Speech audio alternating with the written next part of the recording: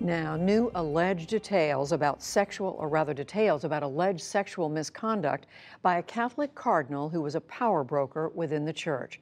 Theodore McCarrick was removed from public ministry last month, making him the highest ranking Catholic official in the U.S. to be removed for sexual abuse of a minor. As John Yang tells us, a new investigation finds other offenses, and church officials allegedly covered them up for decades. With holy oil you will relieve and console the sick. Cardinal Theodore McCarrick was long one of the most recognized faces of the U.S. Catholic Church. He led the Archdiocese of Washington, D.C., and participated in the funeral mass for Senator Edward Kennedy. McCarrick became an influential voice at the Vatican and was among the cardinals who elected Pope Benedict XVI. In the early 2000s, Pope John Paul II asked him to help manage the devastating sexual abuse crisis. He was one of the drafters of the Charter for Protecting Children that was adopted by American bishops in 2002. I think uh, when you look at zero tolerance, now I'm saying this, the other bishops aren't. I'm saying zero tolerance prospectively, everybody's on the same page. If this ever happens again, that's it. McCarrick was the public face when the U.S. Council of Bishops issued its report about decades of abuse by priests. Here he is on NBC's Meet the Press. Do you believe there's a special place in hell for men who represent Christ on earth and abuse their flock? There is certainly a special, terrible judgment on, on someone who would abuse the trust that a priest must have, that a priest does have. But McCarrick's own behavior became the focus last month when he was removed from the ministry. The Archdiocese of New York said an accusation that he had molested a 16 year old altar boy nearly 50 years ago was credible. McCarrick denied it.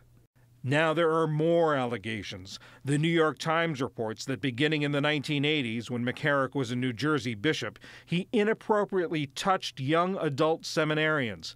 The newspaper said church officials knew of the allegations as he rose in the hierarchy. McCarrick declined to comment to the Times. The Reverend James Martin is a Jesuit priest and editor at large of the Jesuit magazine America. He joins us now from New York. Father Martin, thanks for being with us. The New York Times reported that the first documentation they see of a complaint that the Catholic Church was aware of, church officials were aware of, was, was in 1994. How could these allegations have been around for so long and yet uh, Cardinal McCarrick rise in the church hierarchy? Uh, that's a very good question. I think you're talking about the allegations about him uh, towards seminaries and priests. I think essentially uh, priests were probably embarrassed to come forward and uh, former seminarians embarrassed to come forward. And it is shocking to me that these uh, allegations have been around for so long. It's really pretty mystifying. And let me also ask you about the difference between the, the, the sort of the swift action once the Archdiocese of New York uh, deemed credible the allegation about abusing an altar boy uh, many years ago, and yet the, the slow action or the inaction uh, on the uh, allegations about adult seminarians? Well, another good question. I'm not a lawyer, but I think you know one is technically illegal. Uh, it's a crime, uh, and I think that sort of puts into place the um, reforms of the Dallas Charter, where the person is immediately removed. And I suppose these other things, uh, these other uh, accusations took a while to be unearthed. But what happens in terms of the Dallas Charter is that once there's any credible accusation of child abuse, you are immediately taken from ministry. It's, uh, there's, there's no questions asked. Uh, what's the church's attitude, or how do they view allegations about adults? Well, it's a very serious matter. It's not only uh, you know a grave crime against somebody's person, right? It's a it's an abuse, an emotional abuse, sometimes a physical abuse. It's also sinful, and it's also uh, breaking the uh, the promise of celibacy that you have uh, as a as a priest. So, in multiple ways, it's wrong. Father, one of one of the targets of Cardinal McCarrick told the Times that in the corporate world there's a human resources contact. He said, "Does the Catholic Church have that? How is a priest supposed to report abuse or wrong activity by his bishop?"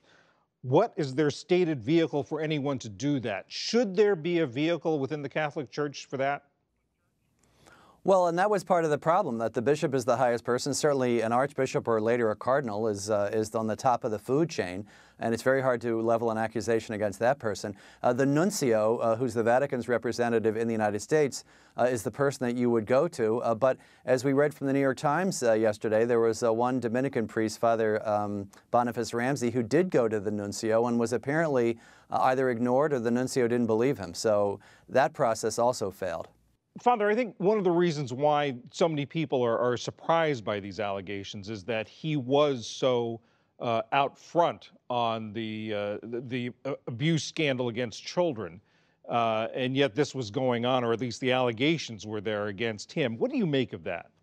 Well, that people are very complex, and I guess he was able to compartmentalize his own uh, misbehavior and abuse, and somehow, I'm assuming, uh, think that the child sexual abuse is warranted different punishment, but the idea that someone who was himself behaving improperly with people would be in the forefront uh, is it's frankly mystifying to me. So it, it just again shows the complexity of the human person and the complexity of sin too. I think that the most difficult thing for me to fathom uh, was how the, uh, these situations had gone on for so long, even before he was Archbishop of Newark and Washington. That was really stunning to me. Do you think there is more to this in the church uh, with uh, adult seminarians?